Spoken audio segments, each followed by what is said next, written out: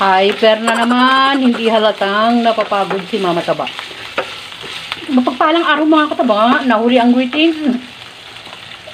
Excuse me po! Nahuli ang greetings natin. Magluluto tayo ng pansit Mickey naman mga kataba. Meron tayong na fry ko na ng kaunti ang ating pork at maglagay naman tayo ng bawang sibuyas habang nagpo-fry tayo dyan maggisa na tayo ng ating hindi masyadong marami tong ating pansit Mickey mga kataba. Ayan assorted na tong gulay ko. Meron tayo ditong nagmantika na dahil may mantika yung sandok. Carrots beans sayang ang sayote mas marami, mas maraming klase ng gulay mas malasa. So yan lagay na natin to gulay. Oh. Hindi naman to ano masyadong matigas ang carrots kasi maliliit ang hiwa. Kaya pinagsama-sama ko na sa isang lalagyan. Lagay tayo ng beef cube. Kalahati lang yon mga kataba. Kasi alam nyo naman ang Mickey. No? Medyo maalat ng kaunti. Kaya titignan natin yung lasa ng Mickey. At meron din naman tayong chicharo kasama ng repolyo at ang ating Mickey. Ayan, pabayaan muna nating magisa ng kaunti bago tayo maglagay ng mga pampalasa. Pinagsabay ko nang inilagay yung ating chicharo at saka repolyo, oyster sauce. Maglagay na tayo. No, nilalapit ko yung ano sa hugasin para hindi naman marumi toyo. O yung binabanggit ko mga kataba hindi mo ko masyado lalagyan ng toyo dahil Mickey. Ajinomoto makapaglagay na tayo ng paminta. Yan. At maglagay tayo ng tubig yan, tansyahin muna natin. Depende sa absorb ng ating Mickey.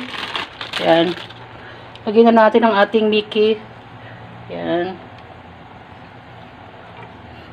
Ganyan muna karami. Tignan natin. Yan. Haluin natin. Yan. Mga isa't kalahating Mickey ang ilalagay natin. Kasi marami, marami pa namang gulay. So yan mga taba pabayaan muna nating maluto ang ating Mickey. Halos luto na mga kataba. Sa kalahati lang na ilagay kong ating Mickey. Kasi syempre, ang ating gulay para naman tikman natin. Huwag nyo masyadong lagyan ng toyo pag Mickey. Pwede nga wag na eh. Pero konti lang. Para lang may kulay. Tagal ko mga kataba. Kasi mainit eh. Yan okay na siya. Hindi siya ma maalat. Tama lang. Pre, luto-luto na. Sarap na.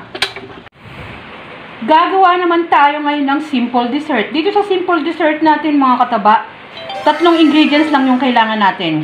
Gagamit tayo ng crackers. Ganitong crackers ang ginamit ko mga kataba. Yung honey house. Yan. Tanggalin lang natin yung kalat. Tapos dito naman, small na creme densada, yung maliit na lata lang. So affordable naman ng ating ginagawang dessert pero alam niyo na, yung lagi kong sinasabi na masarap yung ginagawa natin kahit na affordable. Tapos ang pang toppings naman natin is yung orange. Yan, hiniwa ko ng maliliit. So yan. Any crackers na pwede nyong gamitin, pwede naman. No, ikalat lang natin yung ating gata sa ating lalagyan pwede kayong gumamit ng any container na gusto nyo na pwedeng bilog, pwedeng square kasi mas maganda pag square. Depende doon sa shape ng ating ginagamit na crackers. Maglagay tayo ng crackers. Maglagay tayo ng crackers. Maglagay tayo ng crackers maglagay tayo ng crackers. Malinis ang kamay ko again, mga kataba. Ayan. Ayan. So, ganun lang. At tapos, maglagay tayo ng pangalawang coating. Yung mga mayroong ano, ah, patlang, lalagyan natin yan ng putol-putol. No? So, ganun lang ang gagawin natin. Ulit-ulit lang mga kataba. Ah, ipapakita na lang natin yan pag yung nalagyan na natin yung mga may patlang o yung mga may siwang. So, yan. Hanggang sa maubos natin ang ating crendensada. So, ganun lang. Unti-unti ko nang nilalagay ang ating orange. Ang mga taba. Yan. Yan. Tapos, meron ako ditong dinurog na dalawang piraso ng crackers para ididrizzle natin dyan o isprinkle natin yung ating dinurog na crackers. Ay, ang galing naman sakto. Hindi siya pangit tignan. Yan. Tapos, pwede na tayong mag, yan. Drizzle na natin ang ating dinurog na crackers sa ating pinaka ibabaw. Again, malinis ang kamay ni Mama Taba. So, yan. Finish na ang ating dessert na crackers with crendensada. Sa pagluluto ng pansit mga kataba, kahit hindi may birthday o kung ano man walang okasyon, nagluluto pa rin tayo ng pansit, lalo na pag nagki-cravings tayo sa pansit. Nagluto naman tayo ng pansit Mickey mga kataba. Iniiwasan lang natin sa pansit Mickey ang paglalagay ng mga pampaalat pa dahil maalat na ang ating pansit Mickey.